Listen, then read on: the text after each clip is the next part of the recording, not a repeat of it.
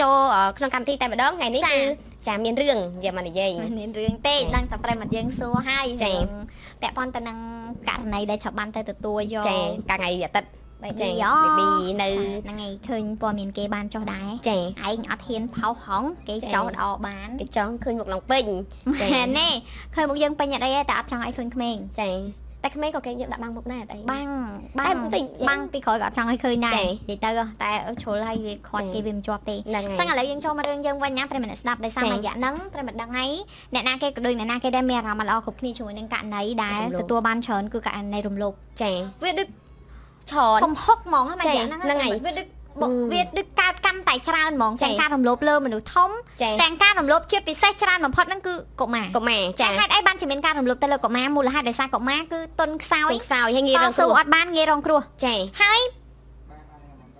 គាត់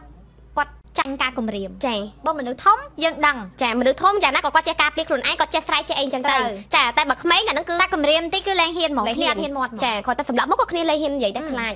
យ៉ាងណាជាពិសេសគម្រាមធ្វើបាបគម្រាមសម្លាប់គម្រាមវាយអីចឹងដាក់តែម្ដាយពីរដៃគ្នាលែងហ៊ានបណ្ដោយអញ្ចឹងគឺយើងឃើញថាមួយរយៈហ្នឹងគឺមានករណីដែលទទួលរងការរំលោភច្រើនច្រើនមែនតែប្រិមិត្តរហូតដល់មានប្រជាប្រដ្ឋរបស់យើងដែលជាអ្នកស្ដាប់ ABC ផងនិងនិយាយទៅប្រជាប្រដ្ឋទូទាំងប្រទេសយើងមើលតាមបណ្ដាញសង្គមនានាក៏ដូចជា page ព័ត៌មាននានាអីចឹងណាគឺគាត់អឺគាត់ជំរុញឲ្យមានការកាត់ទោសទៅលើអ្នកដែលគាត់ប្រព្រឹត្តការបទរំលោភហ្នឹងរហូតដល់អ្នកប្រហារជីវិតចាបើអត់ទេ សុំត្រឹមធ្វើដូចជាប្រទេសចិត្តខាងយើងទៅមិនឆ្ងាយគ្នាប្រហែលទេពីលីពីនអីចាក់ថ្នាំគឺគេចាក់ថ្នាំសម្រាប់អវយវៈភេទរបស់គាត់មកចាជារួមប្រមាត់ការប៉ັດវាអញ្ចឹងល្អដែរហើយផលបើសម្រាប់ឈប់គឺនិយាយពីករណីទោសប្រហារជីវិតអ្វីត្បិតថាវាសមណាស់សម្រាប់មនុស្សដែលដល់ថ្នាក់សម្រាប់ជីវិតអ្នកដតីបើអ្នកឯងហ៊ានដល់ថ្នាក់ប៉ងឬមានគំនិតសម្រាប់ជីវិតអ្នកដតីទោះអ្នកឯងស្វឹងឬអ្នកឯងមិនស្វឹងឬអ្នកឯងជាប់គ្រឿងញៀនក៏ដោយក៏ជាអ្នកឯងដែរចាអញ្ចឹងគឺទោសប្រហារជីវិតវាសមនឹងជីវិតសងមួយជីវិតចាតែ ដែលភ័យព្រួយបារម្ភជាងគេហេតុអីបានជារាជរដ្ឋាភិបាលរបស់យើងគាត់អត់ហ៊ានអត់ទាន់ហ៊ានធ្វើការអនុម័តឬក៏គាត់អាចនឹងកំពុងពិភាក្សាគ្នាដែរពាក់ព័ន្ធនឹងរឿងហ្នឹងឬក៏ផលវិបាកនៃការឈានទៅដល់ផលវិបាកនៃការឈានទៅដល់អនុម័តឲ្យមានទោសប្រហារជីវិតហ្នឹងគឺត្រង់ថាឧទាហរណ៍ចុះបើកាត់ទោសខុសចាច្រឡំបើគ្រាន់តែជាប់ក្នុងគុកចេញមកវិញបានចាស៊ីសងគ្នាបានបានតែបើសិនជាដល់ថ្នាក់ប្រហារជីវិតស្លាប់បាត់ហើយទៅគាត់ធ្នោមិនសងគ្នាមិនចាអត់បានទេអត់បានទេចា អឺតែជឿថាវាមិនមែនដល់ថ្នាក់ទៅច្រឡំស្អីគ្រប់តែគ្នាទេអាហ្នឹងយើងគ្រាន់តែនិយាយថាប្រទេសណាក៏មានកន្លែងណាក៏មានការកាត់ទោសវាត្រូវតែមានការយល់ច្រឡំចាចឹងព័ត៌មានមួយគេតបធ្លាប់បានចុះដែរនៅក្រៅប្រទេសហ្នឹងមិនកាត់ទោសច្រឡំដាក់គុកចិត្តពាក់កណ្ដាលជីវិតចា40ឆ្នាំជាងហើយបានស្រាវជ្រាវដឹងថាគាត់ហ្នឹងគឺគ្មានកំហុសទេលទ្ធផលចុងក្រោយគេមានតែសំទោសហើយនឹងសងជាជួយចិត្តទៅគាត់វិញហ្នឹងហើយអើជារួម đang និយាយរឿងហ្នឹងមកហ្នឹងប្រិមនស្ដាប់ពីព្រោះ ចំពោះឆាប់ខ្លួនឯងប្រិមិត្តច្បាស់ជាមានកំណត់ម្នាក់មួយម្នាក់មួយអ្នកនេះចង់ឲ្យអញ្ចេះអ្នកនោះចង់ឲ្យអញ្ចឹងតែសម្រាប់ឆាប់ឆាប់មានអារម្មណ៍ថាការចាក់ថ្នាំសម្រាប់អវយវៈសម្រាប់អវយវៈភេទឆាប់គ្រប់ត្រចាគ្រប់ត្រដូចគ្នាឆាប់ខ្លួនឯងមានអារម្មណ៍ថាគឺគ្រប់ត្រមានន័យថាគួរតែមានដំណាក់កាលហ្នឹងគឺការរំលោភក្មេងក្រោមអនិតិជនវាសមណាស់ចាសមឲ្យជាប់គុក10 30ឆ្នាំឡើងទៅហ្នឹងសមណាស់ចាសមហ្មងចាត្រូវអត់ត្រូវឲ្យជាប់គុក30ឆ្នាំទៅសមណាស់ បើភ្លើអញ្ចឹងមិនបាច់ចេញមកក្រៅរកស៊ីធ្វើការអីនាំតប៉ះពាល់ដល់អ្នកដតីទេចាហើយជាប់គុកជាប់គុក30ឆ្នាំហ្នឹងវាសមហើយហើយពេលដែលជាប់គុកហ្នឹងយើងចង់និយាយចេះការប៉ັດចេះតើហេតុអីបានជាយើងចង់និយាយដល់ចំណុចថាឲ្យចង់ឲ្យមានការចាក់ថ្នាំសម្រាប់អវយៈភេទរបស់គាត់ហ្នឹងមូលហេតុដោយសារនិយាយឲ្យត្រង់ហ្មងប្រិមត្តស្ដាប់មូលហេតុដែលជំរុញឲ្យវាអាចង្រៃហ្នឹងវាហ៊ានទៅដល់ថ្នាក់រំលោភកូនក្មេងរំលោភកុមារចាគឺដោយសារតែវាមានចំណងផ្លូវភេទយល់អត់អញ្ចឹងបានវាទៅរំលោភក្មេងដល់តែពេលក្រនតែដាក់វាក្នុងគុក ទោះបីជាប់20ឆ្នាំ10ឆ្នាំឬក៏30ឆ្នាំឬក៏ជាប់មួយជីវិតក៏ដោយសួរថាវាគ្រាន់តែជាប់ក្នុងគុកដែលគ្មានសេរីភាពតែប៉ុណ្ណោះតែអាចចំណងផ្លូវភេទវានៅតែអាចមានចាហើយជារួមយើងបាច់យើងមិនល្ងងទេរឿងហ្នឹងយើងដឹងហើយយើងចង់និយាយថាបើសិនជាវាអត់មានអ្នកណាតែរំលោភវាក៏អាចធ្វើឲ្យវាសម្រេចបំណងរបស់ខ្លួនឯងបានដែរចាអញ្ចឹងគឺកុំឲ្យហែងមានអារម្មណ៍ហ្នឹងហ្មងគឺសម្លាប់ហែងចោលហ្មងសម្លាប់សម្លាប់អវយវភេទចោលហ្មង ត្រូវឲ្យឲ្យចប់មកអារម្មណ៍ហ្នឹងគឺឲ្យចប់ហ្មងទៅបែរចេញពីគុកមកវិញក៏ឲ្យជីវិតហ្នឹងឲ្យត្រូវបោះចោលហ្មងចាព្រោះយើងមិនដែលដឹងណាពាក់ព័ន្ធជាមួយនឹងករណីដែលថាចាប់មនុស្សក្មេងគឺភាគច្រើនគឺជនសង្ស័យត្រូវបានជាប់ទោសរហូតប៉ុន្តែករណីហ្នឹងគឺនៅតែមានដដែលដដែលត្រូវចាដដែលដដែលមករហូតដដែលអត់ឈប់ទេហើយម្យ៉ាងទៀតប្រិមិត្តឧទាហរណ៍ថាវាជាប់5ឆ្នាំឬក៏ជាប់10ឆ្នាំ10ឆ្នាំហ្នឹងវាធ្វើអីក៏បាននៅក្នុងគុកហ្នឹងដែរចាឲ្យវាជាប់យ៉ាងវេទនាហើយជាប់យ៉ាងអត់មានអវយវៈភេទរបស់ខ្លួនឯងហ្មងគឺប្រើការលែងបានហ្មងប្រិមិត្តចាអាហ្នឹងគឺយើង ចេះនិយាយទៅពេញចិត្តហ្មងព្រមពេញចិត្តនឹងនឹងនឹងការរបៀបថានេះយើងមិនមែនយើងក្នុងនាមជាប្រជាពលរដ្ឋតើប្រទេសជាតិមួយឬមួយក៏រដ្ឋាភិបាលមួយមានទូនីតិអ្វីចាកំណត់ច្បាប់ឲ្យប្រជាពលរដ្ឋការពារកុំឲ្យប្រជាពលរដ្ឋជួបនឹងហានិភ័យចា៎អញ្ចឹងក្នុងនាមយើងជាប្រជាពលរដ្ឋឥឡូវនេះយើងទាំងអស់គ្នាចង់ឲ្យបង្កើតច្បាប់សម្រាប់អវយវៈភេទរបស់អ្នកដែលរំលោភក្មេងក្រោមអាយុ ជានីតិជនចាមានន័យថាក្រែងរដ្ឋាភិបាលក្រែងក្រសួងអង្គការនីមួយអាក្រែងក្រសួងឬមួយក៏គេហៅថាស្ថាប័ននីមួយៗឬក៏អឺអឺរដ្ឋសភានេះក្រែងរងចាំបង្កើតច្បាប់រដ្ឋមួយថ្ងៃមួយថ្ងៃគឺការងាររបស់ពួកគាត់គឺរងចាំថាបង្កើតច្បាប់បែបណាឬមួយក៏អនុវត្តច្បាប់បែបណាដើម្បីការពារសុវត្ថិភាពនិងការរស់នៅរបស់ប្រជាពលរដ្ឋតែនេះឥឡូវពួកយើងគឺជាប្រជាពលរដ្ឋយើងចង់បានច្បាប់ហ្នឹងក្នុងនាមយើងទាំងអស់គ្នាជាប្រជាពលរដ្ឋយើងចង់បានអាច្បាប់កាត់ទោសឲ្យធ្ងន់បំផុតចំពោះអ្នកដែលបង្កើតករណីរំលោភព្រោះយើងឈឺចាប់ហើយយើងពិបាកទទួលយកខ្លាំងណាស់ចាត្រូវទេក៏អីគេហ្នឹងគេបដិអីដល់ចេអូកាយរះក្នុងសួនហ្នឹងហើយហ្នឹងហើយគាត់ល្បីនៅខាងកាយរះក្នុងសួនអប្សរាបាទបងប្អូនអប្សរាហ្នឹងហើយគាត់ល្បីនៅបងអប្សរាជាងអឺជារួមប្រិមនស្ដាប់បើយើងបានស្ដាប់ហើយបទចម្រៀងមិញជាបទជំនួយជីវិតដែលជាស្នាដៃនិពន្ធរបស់អឺស្រីម៉ងសុចិន្តាមុំសុចិន្តាដែលគាត់គឺជាបងស្រីត្រូវទេបងប្អូនស្រីបងជាបងស្រីរបស់លោកស្រីមុំសូម៉ាលីសូម៉ាលីដែលយើងស្គាល់គាត់នៅក្នុងអង្គការ Afisif ដែលគាត់ ជួយទទួលមើលថែកុមារដែលជាពិសេសក្មេងស្រីដែលទទួលរងការរំលោភដែលការរំលោភបំពានផ្លូវកាយផ្លូវចិត្តអីចឹងណាប្រិមត្តស្ដាប់ចាអរគុណគាត់មែនតើនោះសុបាយចិត្តមែនតើវាវារំភើបដោយមានដោយមានគេចេញមកធ្វើការងារច្រើនខ្លាំងណាស់យល់ឡើងប្រិមត្តកាប៉ាត់លោកស្រីមុំសមាលីគាត់ធ្វើការងារនឹងមកយូរយូរហើយប៉ុន្តែយើងទាំងអស់គ្នាចេញមកដែរប្រជាប្រដ្ឋរបស់យើងម្នាក់ម្នាក់ចេញមកធ្វើការថ្កោលទោសចាអត់មែនណាត្រូវទាំងវិសុពេលដែលយើងយើងនឹងប្រិមត្តចូលមក យចាបង្កើតគំនិតពីអ្នកមួយអ្នកមួយចឹងទៅហើយមិញតាមតែស្ដាប់ការសភាព្រោះមុនហ្នឹងគឺបន្ទាប់ពីចាប់ចម្រៀងគេសភាម្ដងម្នាក់ម្ដងម្នាក់ស្ដាប់អីដែលសំខាន់ពាក់ព័ន្ធជាមួយនឹងរឿងមានឪពុកម្លោកកូនខ្លួនឯងចាមានអាករណីចាប់បខំហើយដល់ពេលគេដាក់ពាក្យបណ្ដឹងឲ្យមកធ្វើជាការជាមួយទៀតចាចុងក្រោយជនសង្ស័យដែរនឹងនឹងគឺនៅក្រៅឃុំទៀតចាចា ច្រើនខ្លាំងតែមិនស្ដាប់ដែររូបភាពយើងស្ដាប់មកមុននឹងយើងមើលមកមុននឹងណាអឺយើងក៏សូមរំលឹកម្ដងហើយម្ដងទៀតលោកពុកអ្នកម្ដាយដែលមានកូនស្រីតូចតូចក៏កុំកុំទុកគាត់ឲ្យនៅផ្ទះតែឯងចាអូដល់ពេលអញ្ចឹងសំបីតែឪខ្លួនឯងក៏លែងទុកចិត្តដែរមែនតែបងច្រភូមិចង់និយាយថាជាពិសេសអ្នកនៅស្រុកស្រែស្រុកស្រែចាដល់ថ្នាក់មានប្រមេធំធំមានអត់អីតែកូនក្មេងទូចទូចចាគ្នាគ្នាស៊ូអត់បានណាយល់ទេចំឪពុក ដែលដែលមិនមែនជាឪចានេះមិនមែនឪហ្មងមួយលៀនមិនដឹងមានមួយអត់ទេចាដែលថោកទៀតដល់ថ្នាក់រំលោភកូនខ្លួនឯងបែបហ្នឹងវា អើយអត់ដឹងនិយាយថាម៉េចចាតែឥឡូវយើងអរគុណ sponsor របស់យើងសិនចាយើងអរគុណទៅខាងវិស័យទឹកដោះគោ Frank Baby ជាជំរឿនដ៏ល្អបំផុតសម្រាប់បុត្រធីតារបស់លោកអ្នកចង់ឲ្យកូនរបស់លោកអ្នកលូតលាស់បានល្អកុំភ្លេចជាមួយនឹងវិស័យទឹកដោះគោ Frank Baby តែតែលេខទូរស័ព្ទ012 809 721ច្បាប់មីយ៉ងសញ្ញាក្បាល PVC រត់ស្រួលប្រើបានយូរតែម្ដងជាផលិតផលដែលនាំចូលដល់ក្រុមហ៊ុនជក្បាលគោអាចរកផ្លាស់ប្ដូរបាននៅគ្រប់ដេប៉ូលក់គ្រឿងបន្លាស់ម៉ូតូទូទាំងប្រទេសនឹងអរគុណបន្តទៅខាងច្បាប់មីយ៉ងសញ្ញាក្បាល PVC ហើយអសិតជីលបាអសិតជីលបាបង្កើនបង្កើនការចងចាំនិងជំនួយដល់ខួរក្បាលលោកអ្នកដែលគាត់ត្រូវការទិញតែតែលេខទូរស័ព្ទ017 753 958ប្រិមសិនរ៉ាហ្វអុយជាប្រិមសិនដែលល្អកាត់បន្ថយការស៊ីប្រេងតិចជាមុនកាត់បន្ថយការភាពសឹករិចរែនៅគ្រឿងម៉ាស៊ីននិងជាពិសេសហ្នឹងគឺធ្វើឲ្យការចងចាំរបស់យើងបានល្អតែតឹងសុតជីលបាបានគឺលេខ017 750អូចាប្រិមសិនរ៉ាហ្វអុយទៅចាសុតជីលបាចាណាលើតែតឹងជីលបាបានគឺលេខ017 753 958ប្រិមសិនរ៉ាហ្វអុយប្រិមសិនដែលល្អសម្រាប់រថយន្តម៉ូតូគ្រឿងចក្រគ្រប់ប្រភេទតែម្ដងត្រូវការរ៉ាហ្វអុយតែតើលេខទូរស័ព្ទ089 23 99 99ដីឡូម៉ាព្រំ5ដីដែលមានទីតាំងល្អមានប្រព័ន្ធទឹកភ្លើងមានផ្លូវបេតុងចង់ដឹងព័ត៌មានបន្ថែមពាក់ព័ន្ធជាមួយការទិញដីតែតែលេខទូរស័ព្ទ077 990 999និងដីឡូនិងកងហ្វូឡុងកងហ្វូឡុងគឺជាប្រាក់ខែទូរស័ព្ទដៃដែលជាមុខគេនៅកម្ពុជាមានតែខ្សែកាសឆ្នាំងសាតែតែលេខទូរស័ព្ទ016 777 075អរគុណបន្តទៅខាង KK Van Leasing PLC ចេះសមាកម្មបំទម្លួចាសម្រាប់អ្នកដែលត្រូវការប្រើប្រាស់ទូរស័ព្ទដៃទំនើបក៏ដូចជាអ្នកដែលគាត់ត្រូវការប្រើប្រាស់គ្រឿងអេឡិចត្រូនិករួមជាមួយនឹងបរិខាក្នុងផ្ទះអីផ្សេងៗក៏ដោយក៏លោកអ្នកអាចទៅបងទម្លួបានលើពីនេះម៉ូតូម៉ូតូកង់3ហើយនឹងឡានចាក៏ KK Van Leasing មានទទួលផ្ដល់ជូននៅសេវាកម្មបងទម្លួដែរលោកអ្នកអាចទំនាក់ទំនងតាមលេខ096 786 7777 096 786 7777ចាអរគុណបន្តទៅខាងទឹកក្រែធម្មជាតិអូស្ត្រាលីជាទឹកក្រែដែលល្អសម្រាប់សុខភាពរបស់លោកអ្នកជួយកាត់បន្ថយការឡើងជាតិស៊ីននៅក្នុងសារពាង្គកាយជួយឲ្យឆ្អឹងរឹងមាំជាពិសេសលោកអ្នកអាចយកឈុតទឹកគោឲ្យកុមារក៏បានដែរលោកអ្នកក៏ត្រូវការទិញទឹកក្រែធម្មជាតិអូស្ត្រាលីគេតែលេខទូរស័ព្ទបានគឺលេខ015 98 42 52ចេះអរគុណអរប្រិមមនេះស្ដាប់ចាប់សំបន្ថែមពាក់ព័ន្ធនឹងករណីក្មេងស្រីអាយុ4ឆ្នាំនៅខាងអឺត្រៃនេះត្រៃស្លាឃុំត្រៃស្លាបន្តិចអឺតែប៉ាត់បន្ថែមរឿងហ្នឹងក៏អត់ចង់ថែមដែរតែ ប្រិមិត្តយើងគាត់សួរនាំច្រើនដែរច្រើនថាមិនថាយើងបានយកគាត់ទៅមន្ទីរពេទ្យនៅព្រោះពេលដែលបងឆាប់បានផ្សាយសលេងកាលពីថ្ងៃអាទិត្យហ្នឹងគឺគាត់បានអនអែចាតែប្រិមិត្តដែលគាត់ទស្សនាក្នុងការ live គាត់ក៏អត់បានដឹងព័ត៌មានបន្ថែមដែរហើយចា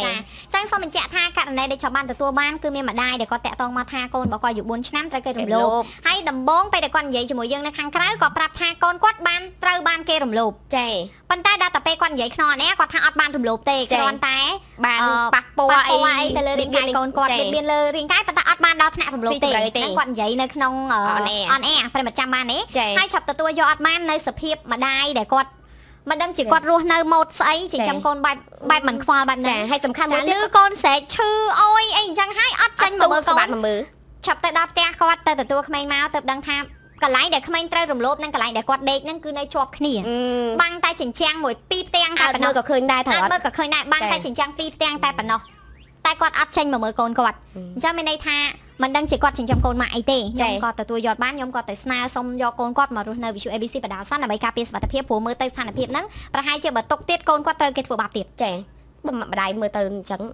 អញ្ចឹងយើងក៏ទៅទទួលយកមកអញ្ចឹងជំរាបជូនប្រិមនស្ដាប់ឲ្យយើងផងដែរថាយើងបានទទួលក្មេងមកដល់វិទ្យុ ABC ហើយចាហ្នឹងជំរាបជូនប្រិមនស្ដាប់តែអត់បានដឹងនៅក្នុងការ live ណាតែអ្នកអត់អ្នកនៅក្នុងការ live អត់ដឹងគាត់បានមើល Facebook ហើយគេចុះព័ត៌មានពេញហ្នឹងអញ្ចឹងហាក់ជាគាត់ដឹងរឿងដែរហើយណាហ្នឹងមួយមួយទៀតគឺ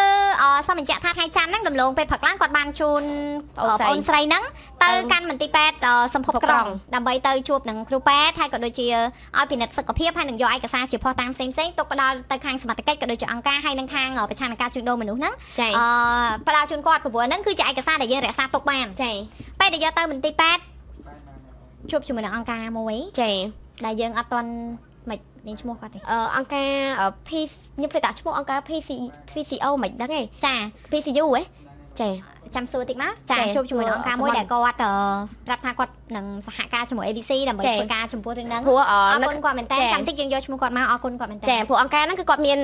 គ្នាគាត់ហ្នឹងគឺប្រចាំការនៅខាងមន្ទីរពេទ្យចានៅពេលដែលដឹងពាក់ព័ន្ធជាមួយនឹងករណីរំលោភឬក៏រឿងអីអញ្ចឹងគឺគាត់នឹងសាកសួរពីយើងហើយនឹងគេនឹងតាមរឿងហ្នឹងតែម្ដងចាចានឹងមួយនឹងមួយទៀតគឺអរគុណដល់លោកគ្រូពេទ្យនិងគ្រូពេទ្យដុកទ័រនៅខាងអឺ ចាមន្ទីរពេទ្យសម្ពុកក្រុងទៅដល់ភ្លាមគឺគាត់ស្វាស្វែងមែនតើគាត់ស្វាស្វែងចំពោះការងារយកចិត្តទុកដាក់ចំពោះការមើលថែទាំក្មេងនឹងមែនតើហើយទៅដល់ភ្លាមគាត់ក៏បានសួរហេតុសួរផលសួររឿងសួរអីពីយើងហើយអស់ក៏បញ្ជូនក្មេងចូលទៅក្នុងបន្ទប់ធ្វើការពិនិត្យភ្លាមភ្លាមអឺអ្វីដែលដែលជប់អត់យល់ដល់ថ្ងៃនេះពេលដែលជប់សួរម្ដាយនឹងយាយរបស់គាត់ជប់និយាយម្ដងទៀតណាពេលក្រៅនេះគាត់តែតែមកយើងដំបងគាត់និយាយថាកូនគាត់ត្រូវគេមលោភហើយយើងសួរគាត់ថារំលោភបានអត់គាត់ថារំលោភគាត់យកទៅប៉ែតបណ្ឌិតហើយប៉ែតប្រាប់ថារំលោភ ដល់មានស៊ីជំរឿហ្មងចា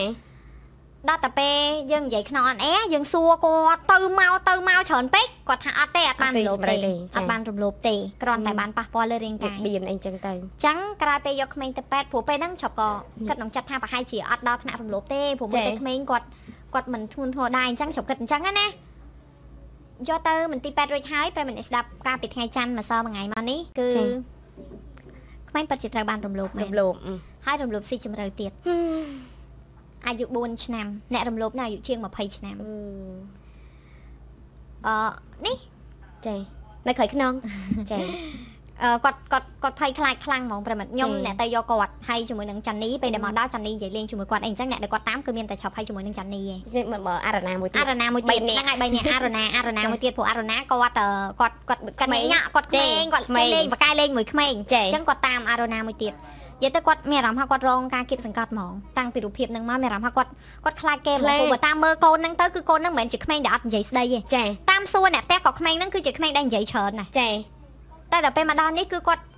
ខ្លាចហ្មងអត់អត់ហ៊ានហ្មងអត់អត់ចេះនៅចិត្តតាមធម្មតាក្មេងៗណាក៏ដោយក៏ចាញ់ការលបួងរបស់បងដំឡូងដែរពួកបងដំឡូងគឺតុនភ្លុនដាក់ខ្លួនបងទាំងអស់គ្នាត្រូវតែក្មេងម្នាក់នេះអត់ចាញ់ការលលមរបស់បងដំឡូងទេដោយសារដំឡូងប្រុសខ្លាចមនុស្សប្រុសចា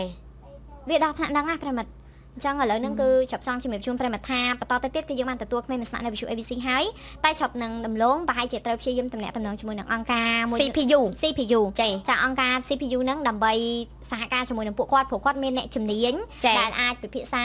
រឿងនឹងបានហើយដែលអាចលួងលោមក្មេងបានដែលអាច មកមកនិយាយជាមួយនឹងក្មេងបានច្រើនជាងពួកយើងអញ្ចឹងយើងមហាជាត្រូវមានការសហការជាមួយនឹងខាងគាត់ហើយយើងអរគុណដែលចិត្តមែនតើសម្រាប់អង្គការហ្នឹងពីពេលតយើងទៅដល់ខាងមន្ទីរពេទ្យអឺសម្ភពក្រុងភ្លាមគឺគាត់ចេញមកទទួលរាក់ទាក់ស្វាគមន៍ហើយគាត់ប្រាប់ថាគាត់ខាងអង្គការអីអីអញ្ចឹងណាហើយគាត់ដឹងដំណឹងហ្នឹងហើយគាត់ចង់ធ្វើការជាមួយយើងធ្វើការហ្នឹងក៏អត់មានបង្ហាញចេញមុខអីណាទេគឺគាត់ថាគាត់គ្រាន់តែចង់សុំធ្វើការនិយាយជាមួយក្មេងដើម្បីផ្ដល់កម្លាំងចិត្តឲ្យក្មេងអញ្ចឹងពួកយើងឡើងកក់ក្ដៅហ្មងអរគុណមែនតើណាអរគុណច្រើនហ្នឹងគឺជាព័ត៌មានបន្ថែមទៀតពាក់ព័ន្ធទៅនឹងករណីដែល ABC បានធ្វើមកតាំងពីថ្ងៃអាទិត្យចា៎ឲ្យចាប់ក្រោយពេលទទួលដំណឹងថាក្មេងនឹងត្រូវរងការរំលោភហើយស្ដាប់ឪពុកម្ដាយស្ដាប់យាយស្ដាប់អីទៅមើលទៅដូចជាមិនមានការការពារសុខភាពដល់ក្មេងសោះចាប់ក៏បានទៅទទួលយកក្មេងនោះមករស់នៅហើយ ABC បដាសានចា៎ដែលយើងទៅទទួលយកមកបាត់ទុកទៀតសំណាស់បាត់ទុកទៀតចឹងទៀត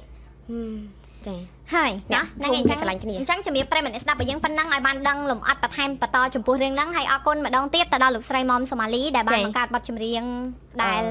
មានចំណងជើងថាចំណូលជីវិតចាដែលជាបទចម្រៀងមួយដែលនិយាយអំពីការទទួលរងការរំលោភបំពានការលក់កូនទៅឲ្យគេចាឪពុកម្ដាយខ្លះអត់ដឹងថាលក់កូនឲ្យគេទេគាត់អត់បានចាប់អារម្មណ៍ថានោះជាការលក់ទេគាត់ថាឲ្យកូនគាត់ទៅធ្វើការឲ្យគេគ្រាន់តែយកប្រាក់ខែមុនព្រោះគាត់ក្រចាចាហ្នឹងការលក់កូនឲ្យគេហើយដែលយើងអត់បានចាប់អារម្មណ៍ណាតែកូនយើងត្រូវយកទៅហើយត្រូវវាយធ្វើបាបត្រូវរំលោភបំពានហើយគេឲ្យលុយមកជាប្រចាំមកម្ដាយមកឪពុកដែលគិតថាកូនទៅធ្វើការបានលុយមកជាប្រចាំអាហ្នឹងគឺចាត់ទុកថាការរំលោភសូមបញ្ជាក់ថាឪពុកម្ដាយក៏មានទោសដែរហើយបញ្ជាក់ម្ដងទៀតប្រសិនបើត្រូវក្មេងត្រូវបានរំលោភ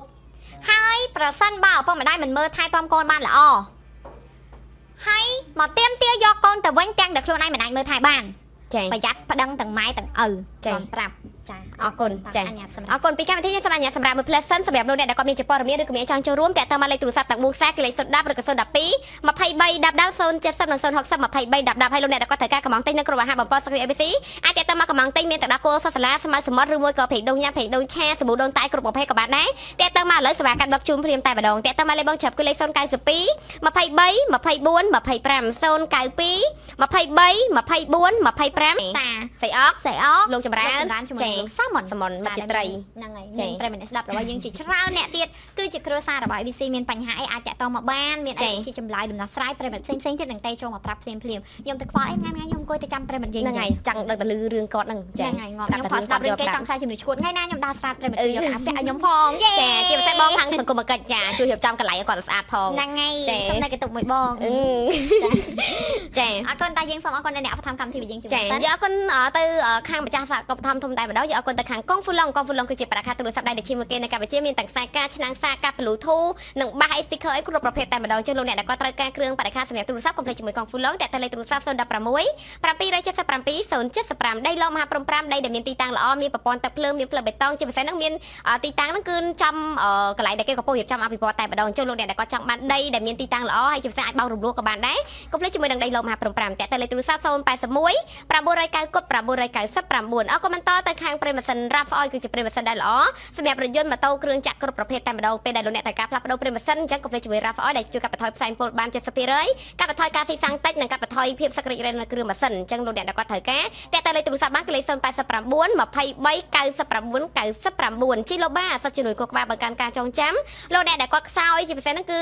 ការចងចាំរៀងមានបញ្ហារៀងភ្លេចភ្លាំងអីច្រើនដោយសារធ្វើការភ្លេចមុខភ្លេចក្រោយកុំភ្លេចជាមួយនឹងជីឡូបាដែលជាដែលជួយបង្កើនការចងចាំចឹងលោកអ្នកតែលេខទូរស័ព្ទបានគឺលេខ017 753 958ច្បាប់មីយ៉ុងសញ្ញាក្បាលកូវីស៊ីរត់ស្រួលប្រើបានយូរតែម្ដងប្រជាផលិតផលដែលស្តង់ដារ